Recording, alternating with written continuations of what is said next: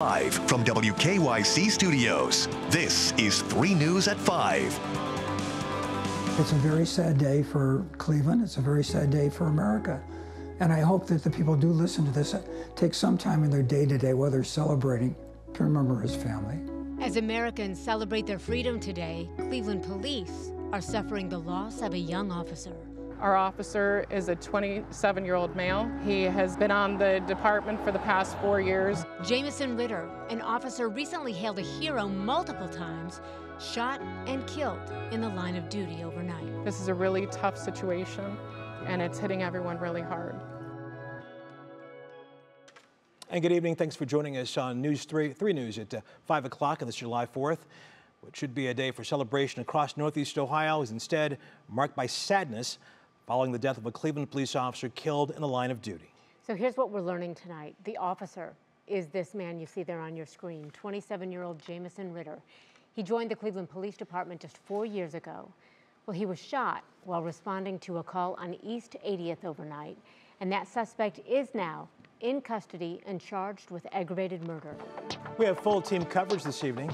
Our Stephanie Haney looking into the suspected killer's history. Annabelle Childers is live at the police memorial on Lakeside with more about Officer Ritter. And we start from the 3rd District headquarters where Officer Ritter was stationed. Matt Rascon is there. He leads our coverage tonight. Matt, good afternoon. Yeah, good afternoon, Russ. Uh, this is, as you said, the district where Officer Ritter served. This is the community he worked to protect. And today, if you take a look behind me, you'll see outside the station is now where many are remembering that service and his sacrifice while he was responding to yet another call for help. Work hard. They risk their lives. They risk everything they have to protect the community. Police Chief Annie Todd says that's the kind of service that was on display in the 1500 block of East 80th Street around 1 a.m. And they need to be recognized for the heroes that they are. Officers putting their lives on the line to get a man wanted for felonious assault off the street. We had information that this was potentially a violent felon that was wanted. So we had multiple officers on scene at this incident. Chief Todd says when police arrived, 24 year old De'Lawnte Hardy ran out of the house and jumped on a bike.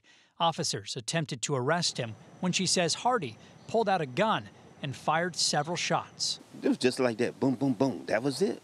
27 year old police officer Jamieson Ritter was shot and killed. This is the first time it ever happened on the street, so I was really shocked. That was it.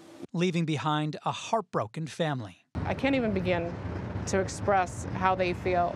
It's absolutely devastating. There's nothing that I can say to them that's going to make it better, but I can tell you that we will 100% be there for them and support them. Cleveland's officers are now in need of that support as they mourn the tragic killing of one of their own and investigate the moments leading up to it. Pray for the men and women of our police department, especially as we celebrate this 4th of July holiday and the freedom that we have in this country. That freedom depends on the men and women of our police department. If you were with us about a half hour ago, we saw a man pull over on the side of the street, walk over to this cruiser, plant these American flags in the ground outside of the cruiser here, and then just kneel and sit there in silence for what felt like several minutes. This is the second time that we've seen this kind of scene outside of a police station. In just the last two months, the second police officer killed in two months in Cuyahoga County. Police Chief Annie Todd said this is a time to put aside criticism for officers and show them our support. And you are seeing some of that support outside the 3rd District Police Station here in Cleveland. Russ? Matt, I drove in that way on my way to work today on Chester Avenue and saw that, and you are correct. it, it is quite a, a, chilling scene there, a poignant scene as people come up there and they leave flowers, they leave flags, and you're so right, Matt. We saw that the last half hour, that gentleman who was there, who was praying in front of that car. All right, Matt Resco. We'll see you later. Thank you. Let's talk more about Officer Ritter here. Over his four years with the Cleveland Police Department, the 27-year-old earned some recognition for his heroism and bravery, and he was recently, in fact, honored with an award for saving the lives of two people. Our Annabelle Childers is live there at the Police Memorial also to tell us what she's learning about Ritter's life and family history. Annabelle, what do you know?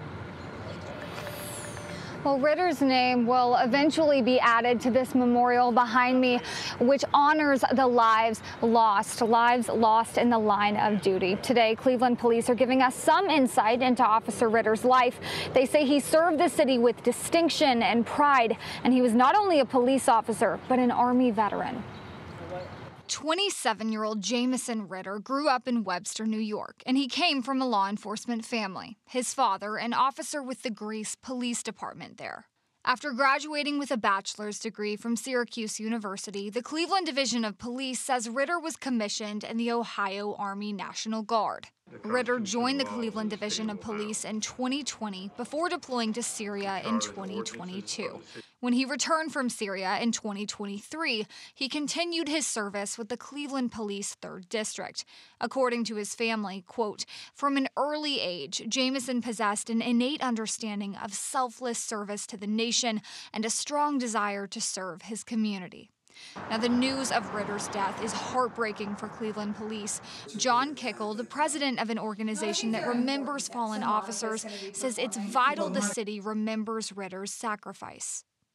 The festivals, the bike rides, the freedoms, the fireworks all celebrate freedom. And yet, uh, in the middle of the night, we lost a young 27 year old Cleveland police officer whose family certainly isn't going to be celebrating freedom today. The Cleveland Police Department's not going to be celebrating freedoms today. Now, just a few days ago, the Cleveland Police Foundation honored Ritter, saying it was his actions of heroism, including performing CPR on a gunshot victim and also pulling a man out of the Cuyahoga River that saved those two people's lives. And Christy at 6 will explain how one city organization is working to honor him in the coming weeks. All right, good to know. Annabelle Childers live in Cleveland tonight. Thank you. And we want to tell you that we've learned police work runs in Officer Ritter's family. His father, John Ritter, is a retired police officer with the Greece, New York Department. There he is right there. Uh, that's a small town near Rochester, in case you didn't know. And he retired from the force back in 2013. The Greece Police Department also offering their thoughts and prayers today to the Ritter family as well as the Cleveland Police Force. We want to turn now briefly to the suspect who is in custody and now faces an aggravated murder charge.